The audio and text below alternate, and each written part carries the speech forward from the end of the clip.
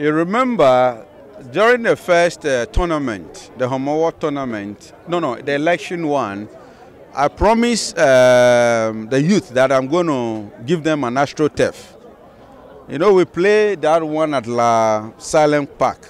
Today we are going, we are playing at where I'm going to build the AstroTurf for the youth of La.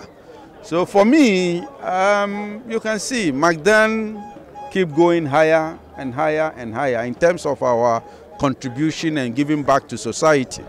And we'll continue to do it and do it to the highest.